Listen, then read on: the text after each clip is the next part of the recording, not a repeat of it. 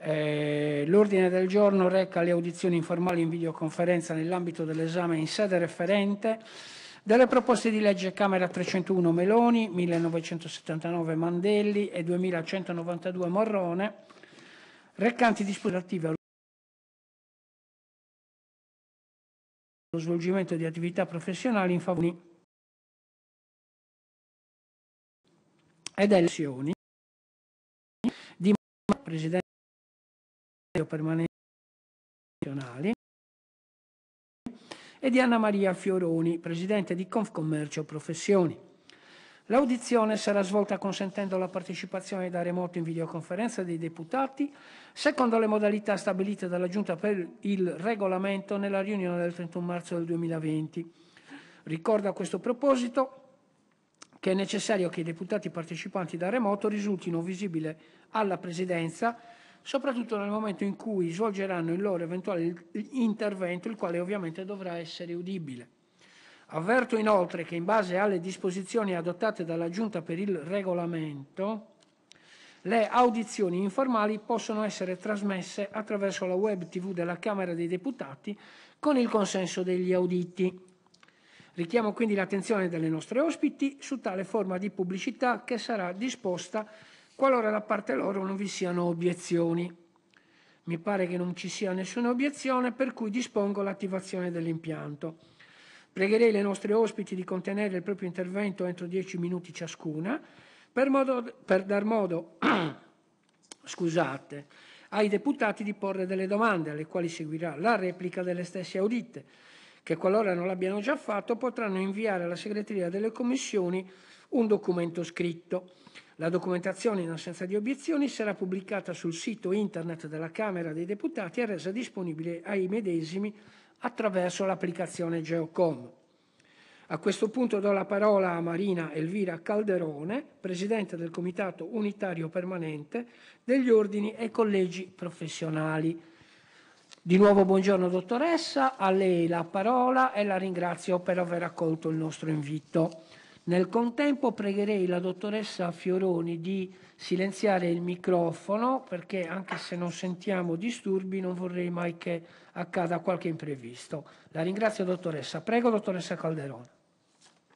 Grazie Presidente, buongiorno, buongiorno a tutti, buongiorno anche alla dottoressa Fioroni e ai deputati che sono in eh, collegamento. Ringrazio eh, per questa opportunità, io sono il Presidente del Comitato Unitario delle Professioni, ma ho piacere di dire che in questa occasione per la prima volta il Comitato Unitario delle Professioni e la Rete delle Professioni Tecniche riunite in professioni italiane eh, partecipano a questa audizione veramente congiuntamente. Noi sardi diciamo forza paris, avanti insieme Presidente, quindi questo per noi è un elemento anche per poter dire che a questa audizione veramente assegniamo grande importanza e anche grande valore simbolico perché eh, creare un nuovo soggetto come quello che abbiamo fatto nascere dalla eh, da questi due organismi e soprattutto parlare di equo compenso dei professionisti credo che sia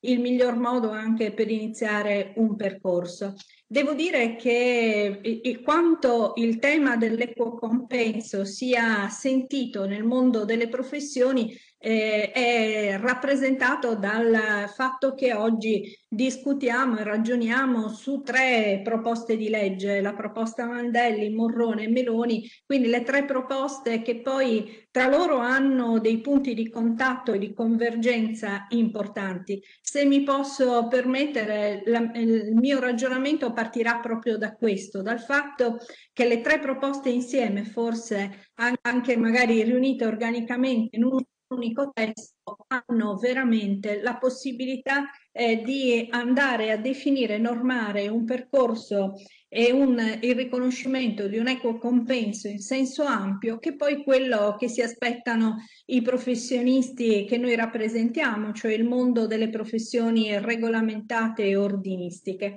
Allora ecco che nel guardare alle tre proposte di legge, certamente noi guardiamo al complesso degli interventi. Ciò che è necessario, a nostro avviso, appunto, è individuare un'esatta definizione di equo compenso. E su questo io credo che la proposta di legge Mandelli sia quella che comunque all'articolo 1 nel, nelle definizioni e anche all'articolo 2 nell'ambito di applicazione poi ci dà una indicazione di quello che dal nostro punto di vista è il eh, punto eh, di osservazione più importante, il fatto che il tema dell'ecocompenso non debba di, eh, rimanere confinato all'interno eh, di convenzioni che poi vengono stipulate tra i professionisti e i committenti forti o quindi eh, coloro i quali rappresentano delle grandi entità. Il nostro tema è che se di equo compenso si deve parlare eh, e se, soprattutto se si deve arrivare a una definizione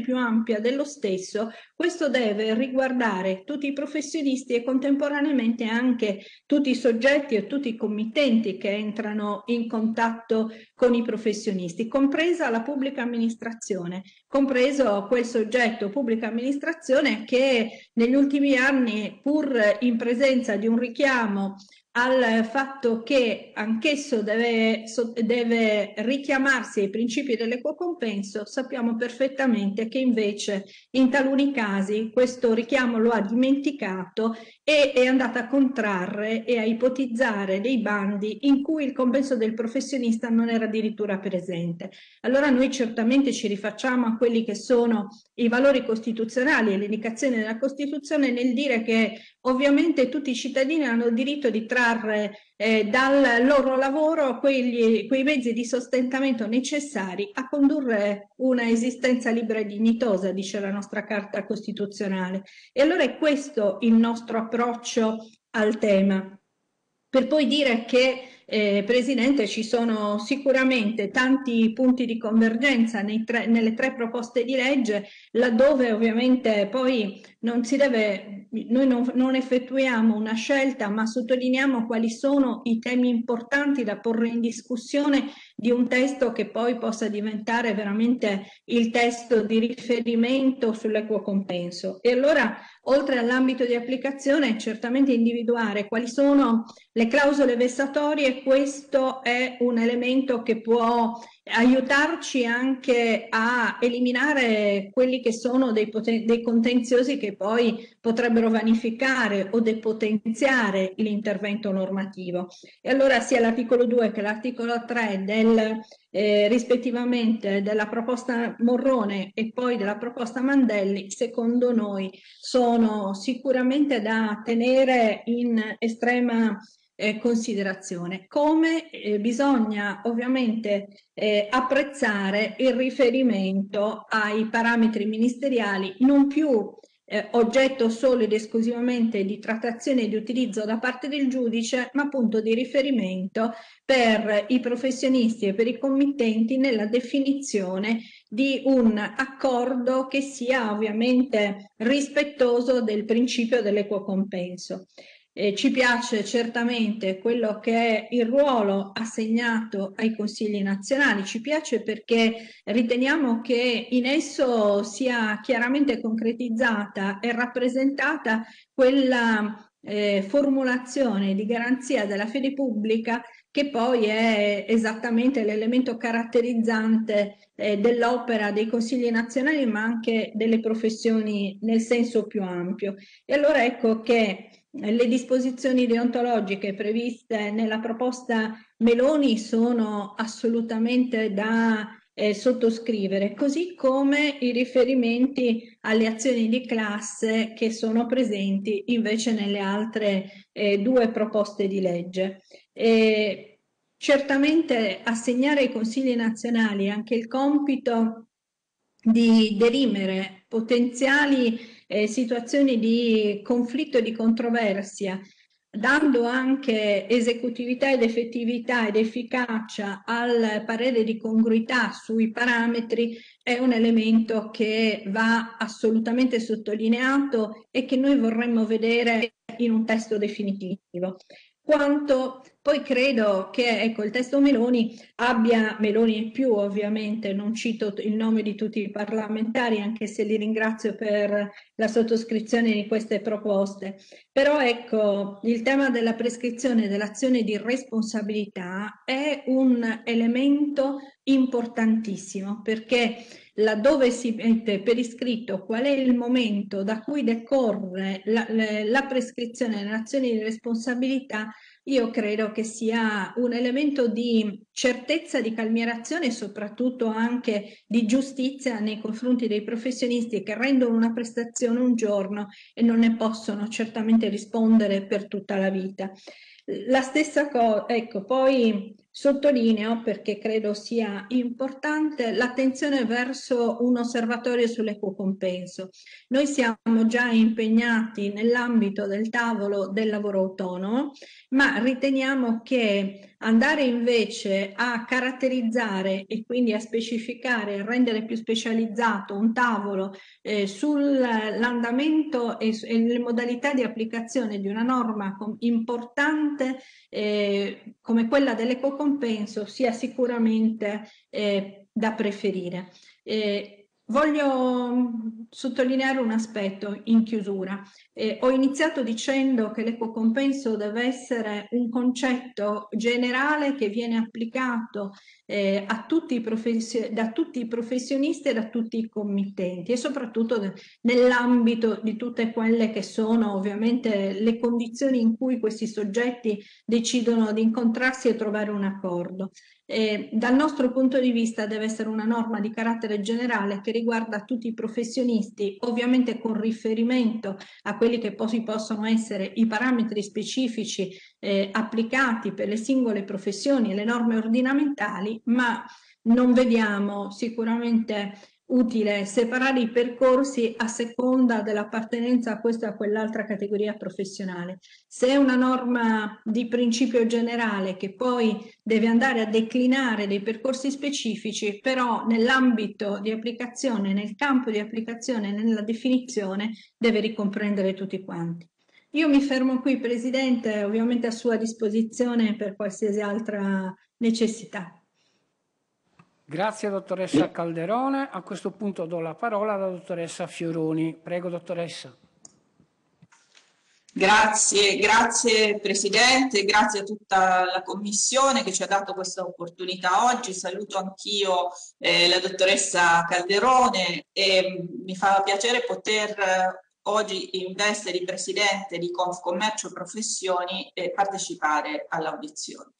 Eh, Confcommercio Professioni è la federazione del lavoro autonomo professionale in Confcommercio e rappresenta prevalentemente i professionisti eh, a partita IVA, lavoratori autonomi professionali, iscritti alla gestione separata IMSS che fanno riferimento alla legge 4 del 2013 nell'individuazione dell'attività professionale come esercitata dagli stessi. Io non posso che eh, plaudere alla presentazione di questi disegni eh, di legge e quindi ringrazio eh, gli onorevoli proponenti perché eh, si rimette in, in, prima fila il tema dell'equo compenso eh, e lo si fa eh, con, spero, la convinzione di portarlo avanti anche all'attuale disciplina che è abbastanza eh, frammentata, disomogenea e scarsamente applicabile. Eh, però eh, questi disegni di legge non si occupano eh, di professioni non organizzate in ordine o collegio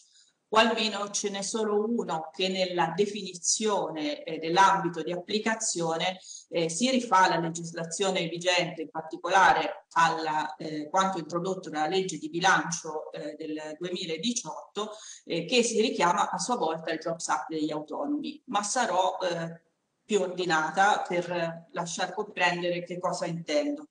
Innanzitutto eh, l'attenzione del legislatore eh, deve essere, a nostro parere, sempre di più indirizzata a queste nuove professioni, alle professioni non organizzate in ordine o collegi che si stanno affermando nel mercato eh, di riferimento, eh, che cercano una loro riconoscibilità perché sono fondamentali per la competitività del Paese. Eh, offrono prestazioni altamente qualificate nei settori dell'ICT, del design, eh, della comunicazione, della consulenza eh, manageriale e in tanti altri campi, ho portato solo alcuni esempi e eh, questa eh,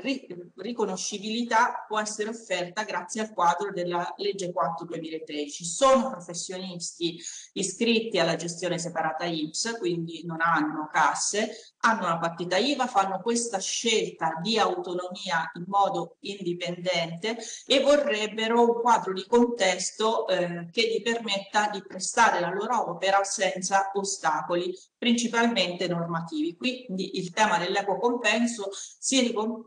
si riconduce ad una questione più ampia che è quella di un sistema di protezione sociale avanzato anche per questi eh, lavoratori autonomi. Ne stiamo parlando, eh, lo diceva anche la dottoressa Calderone, al tavolo che si è costituito, la consulta dei lavori autonomi costituitasi all'interno del CNEL, abbiamo eh, proposto eh, la, la, misura dell'ISCRO eh, come indennità straordinaria di continuità reddituale operativa per questi eh, professionisti e il Parlamento ha recepito questa proposta anche se in via sperimentale e stiamo attendendo l'attuazione, ancora non ci sono eh, i decreti attuativi, ma se non altro è una prima risposta che noi diciamo importante per il sistema di tutele per i casi di contrazione del reddito che soprattutto in questa fase di pandemia sta eh, soggiogando eh, i nostri professionisti che eh, devono affrontare forti cali eh, di fatturato. Però il sistema di tutele, dicevamo, è stato introdotto dal Jobs Act degli autonomi, dalla legge 81 eh, del, del, 2017, che eh, ha introdotto anche un quadro di tutele nei rapporti contrattuali eh, e eh, il criterio della possibilità delle clausole che conferiscono poteri sperequati a favore del committente. E in questa logica poi si è agganciata anche il decreto eh, collegato alla legge di bilancio eh, che ha introdotto per eh, gli avvocati e poi esteso a tutti i professionisti, eh, come descritti anche dall'articolo 1 del Jobs Act degli autonomi, quindi in una logica eh, omnicomprensiva, senza distinzione tra ordini eh, e eh, professionisti non iscritti ad ordini, ecco, ha esteso le tutele compresa quella eh, dell'equo compenso. Quindi noi eh, chiediamo che anche questi disegni di legge si rifacciano a questo criterio e che quindi se accorpati in un'unica unica proposta legislativa eh, tengano conto di questa eh, categoria e, ehm, le, estendano la tutela anche al lavoro autonomo eh, non organizzato in ordine collegi. Però c'è un problema di fondo eh, che è quello legato alla definizione dei parametri. Perché? Perché la legge di riferimento eh, come eh, introdotta eh, dalla legge di bilancio 2018 eh, ha individuato come parametri cui si conforma la individuazione dell'equo compenso i decreti ministeriali per la liquidazione dei compensi in sede giudiziale, ma queste professioni non hanno decreti di riferimento, eh, non hanno parametri eh, di riferimento, o meglio, non hanno decreti che individuano i parametri di riferimento. Perché? Perché sono nuove che si stanno affermando nel mercato, occorre trovare un modello adeguato anche per queste professioni. Allora la nostra proposta è quella di eh, rifarci al lavoro del tavolo tecnico permanente istituito presso il Ministero del Lavoro, sempre dal Jobs Act degli Autonomi, la legge 81 del 2017, per fare in modo che le associazioni eh, come individuate eh, dalla legge 4 del 2013 con un ruolo ben preciso nella valorizzazione delle competenze, eh, nella eh, promozione della formazione e della qualificazione professionale degli iscritti, nonché nella eh, regolamentazione di un codice di condotta interno che è assolutamente volontario, quindi una rappresentanza volontaria non esclusiva che dà un ruolo però legato alla qualificazione a queste associazioni, ecco, le associazioni possano partecipare eh, per, eh, al tavolo per individuare questi eh, parametri eh, cercando una strada eh, che sia eh, più condivisibile eh, possibile e che eh, dia eh, la possibilità di offrire una risposta anche a questi professionisti. Tante di queste associazioni in via meramente orientativa individuano dei parametri eh, di riferimento per i loro iscritti proprio perché nel determinare il compenso nei confronti del committente anche il professionista eh, non sa come eh, orientarsi. La seconda soluzione che possiamo proporre è quella legata alla ehm, una sorta di ricognizione che dovrebbe fare eh, il, il, governo attraverso l'azione del Ministero dello Sviluppo Economico eh, che è collegata alla rilevazione eh, degli usi e delle eh, consuetudini anche attraverso il sistema delle camere di commercio. Camere di commercio che avevano questa funzione prima della riforma del 2016, avevano il ruolo dell'accertamento e pubblicazione degli usi delle consuetudini relative alle attività economiche e commerciali nella provincia di riferimento. Dovremmo recuperare questo ruolo, dare ehm, una eh, funzione appunto al Ministero dello Sviluppo Economico in tal senso e anche in questo caso si potrebbero sentire le associazioni di riferimento che hanno anche una dimensione territoriale proprio per poter interpretare al meglio le esigenze di queste eh, professioni. Accanto a ciò, e non mi dilungo eh, ulteriormente, eh, pongo un eh, problema macro per queste professioni perché committenti forti noi intendiamo più che altro eh, la pubblica amministrazione in questo momento, cioè in questo momento la maggiore criticità è legata al fatto che negli incarichi affidamento diretto e tramite gare pubbliche ancora c'è una, eh, una tendenza, un progressivo rilevante dimensionamento dei compensi anche per prestazioni altamente qualificate. Eh, occorrerebbe invece introdurre criteri più forti anche nel codice dei contratti pubblici che rimandano al principio eh, dell'equo compenso, che valutino eh, qualità, merito, efficienza, eh, che dovrebbe essere proprio la base della determinazione del compenso, perché invece le gare sono costantemente al ribasso, senza eh, riferimenti economici parametranti, c'è eh, spesso la richiesta di una presentazione di un'offerta tecnica progettuale anche in forma gratuita senza compensi e questo eh, non, non, è più eh, tollerabile, lo dobbiamo dire, a tutela eh, di tutti i professionisti che hanno a che fare con la pubblica amministrazione. sottolineando che comunque la legge eh, di bilancio 2018 ha introdotto il principio dell'equo compenso anche nei confronti della pubblica amministrazione.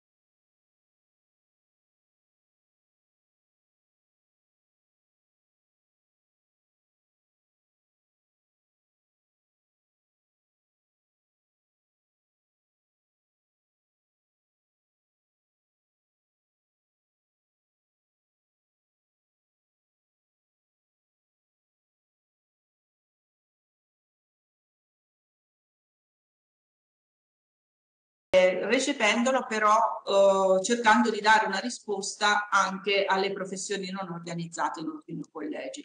Eh, ma si richiamano eh, criteri che devono avere solo natura transitoria, mancando criteri nazionali, perché ci si rifà alle prestazioni omologhe eh, o similari di eh, professioni similari, eh, capite che non è sostenibile una individuazione dei compensi che lascia queste incertezze agli stessi professionisti che devono avere certezze per operare nel mercato. E allora eh, sarà importante eh, per dare una risposta seria a questi eh, professionisti individuare i criteri eh, a livello nazionale in maniera univoca e tener conto del fatto che eh, poi eh, bisognerà eh, allo stesso tempo anche eh, dare una dimensione territoriale all'individuazione di questi compensi perché le professioni sono variegate, eh, sono eh, molto eh, diffuse a livello territoriale ma ancora non c'è una ricognizione esatta di quali e quante siano perché non si iscrivono alle camere di commercio questi professionisti. Ora eh, chiudo con alcune osservazioni rispetto ai disegni di legge. Eh, rispetto all'ambito di applicazione, eh, forse l'ho detto all'inizio, ma lo ribadisco, solo il disegno di legge a prima firma dell'onorevole Mantelli estende l'ambito di applicazione a tutti i professionisti. Eh, lo, il, il, disegno di legge eh, a prima firma Morrone eh, ci induce eh, un dubbio interpretativo, che spero sia solo tale, nel momento in cui prevede che si applica alle prestazioni rese dai professionisti, si applicano alle prestazioni rese dai professionisti le disposizioni in materia di equo compenso, prevedendo che i compensi siano ridotti della metà. Ecco, forse è una nostra cattiva interpretazione, ma ci auguriamo che eh, l'intenzione non sia quella di ridurre la metà i compensi nel caso in cui i rapporti siano con la pubblica eh, amministrazione. Anzi, ci raccomandiamo che la pubblica amministrazione sia trattata come un contraente forte a tutti gli effetti e eh, che si possa trovare un modello applicativo del principio dell'equo eh, compenso così come introdotto dalla legge di bilancio che lascia anche problemi interpretativi circa l'ambito di estensione che vadano individuati i parametri di riferimento. Ora io mi fermo, ringrazio per l'attenzione e sono a disposizione della Commissione. Grazie dottoressa Fioroni. Vediamo se c'è qualche collega che intende intervenire per porre dei quesiti. Mi pare che per il momento non ci sia nessuno, allora mi permetto io di sollecitare a entrambe una ulteriore riflessione eh, in relazione proprio all'ultimo aspetto che ha toccato la dottoressa Fioroni e quindi in merito alla eh, diminuzione dei compensi eh, della metà eh, prevista dall'articolo 3 della PDL prima firma Morrone ehm, quando si tratta di prestazioni a favore della pubblica amministrazione e degli agenti di riscossione. Ora eh, ho preso atto appunto della posizione, abbiamo tutti preso atto della, delle, delle, osservazioni della dottoressa Fiorioni e su questo eh, sarebbe eh, completare eh, l'audizione anche sentendo il parere eh, della dottoressa Calderone. Io eh, farei però un passaggio ulteriore chiedendo quale tipo di disciplina oppure quali criteri ehm, si potrebbero prevedere o ritengono eh, le nostre audite opportuno adottare in materia di ripetitività degli atti e degli incarichi, cioè nel momento in cui ci sono eh, degli incarichi diciamo ripetitivi seriali che ehm, non ehm, comportano per ciascuno di essi particolare studio o impegno, eh, che tipo di eh, disciplina potrebbero prevedere sotto il profilo dell'equo compenso. Prego, se volete darci un ulteriore contributo ve ne saremo grati. Prego, dottoressa Calderone. Grazie Presidente. Allora, per quanto riguarda l'articolo 3 della proposta eh, di legge Morrone e più, eh, anche noi eh, abbiamo, dire, letto con, eh, non dico con preoccupazione, ma sicuramente con eh, necessità di capire meglio quali sono le finalità eh, di questo intervento, perché come dicevo nel corso eh, del mio intervento iniziale, dal nostro punto di vista invece eh, l'equo compenso deve essere un elemento unificante e soprattutto deve avere dei principi unificanti che siano applicabili nello stesso modo alla generalità dei committenti e anche dei professionisti. Ecco perché eh, quindi un, arti eh, un, articolato che prevede un to-cure eh, senza tener conto della complessità dell'opera prestata e delle differenze che poi ovviamente sono oggetto invece di contrattazione tra le parti, che prevede un, eh, un'applicazione di una riduzione del 50% per la pubblica amministrazione, in questi, con questa formulazione a noi certamente non, non, non sembra una condizione che sia accettabile, quindi su questo veramente vorremmo anche mh, eh, avere un ulteriore conforto che invece eh, non siano previste condizioni di questo tipo in un testo che dovesse avere poi una sua definitività. Per quanto riguarda invece eh, l'aspetto legato alla ripetitività della prestazione, quindi una prestazione seriale, io richiamo a quelli che sono i principi della prestazione professionale, seppur con caratteristiche simili, per noi ogni pratica è una storia a sé stante. Poi nell'ambito dei parametri eh, ministeriali, quelli che sono già stati adottati per tutte le professioni, ci sono degli elementi che consentono al professionista e al committente di individuare un compenso che tenga conto di tutta una serie di attività, perché in ragione della complessità il parametro prevede la possibilità per il giudice, in questo momento solo ed esclusivamente per il giudice, di aumentare gli importi all'interno di una forcella che è in aumento o in diminuzione. Quella famosa forcella in aumento o in diminuzione serve per compensare quelle che possono essere eh, delle, eh, delle diverse valutazioni in ordine alla complessità o alla ripetitività della prestazione, che comunque è una ed è sempre una, cioè nel senso che anche se sono dieci pratiche simili, però non sono simili, nel senso che io rendo la prestazione per dieci volte. Ecco, questo credo che debba essere sottolineato. Grazie dottoressa Calderone, dottoressa Fioroni. Beh, non posso che eh, condividere quanto ha detto la dottoressa Calderone, perché anche per le eh, professioni eh, non organizzate in ordine o collegi il tema della ripetitività eh, implica comunque una prestazione eh, qualificata, eh, una prestazione a prevalente contenuto intellettuale, per cui è richiesta una formazione e un regresso di studi importante per, e diciamo che anche se ripetitiva la prestazione ha il suo valore, quindi i parametri di riferimento eh, devono essere individuati tenendo conto eh, della, della, prestazione eh, in sé, a prescindere dalla ripetitività. Bene, io a questo punto non posso fare altro che ringraziare le nostre ospiti per il contributo che hanno dato e quindi saluto la dottoressa Maria Elvira Calderone, Presidente del Comitato Unitario Permanente degli Ordini e Collegi Professionali e la dottoressa Anarita Fiorone, Presidente di Commercio Professioni, ringraziandole quindi per il contributo e per il tempo che hanno messo a disposizione dei, della Commissione e dei commissari. Eh, chiudiamo la seduta di audizioni, eh, vi ringrazio e arrivederci. Grazie. Grazie a voi.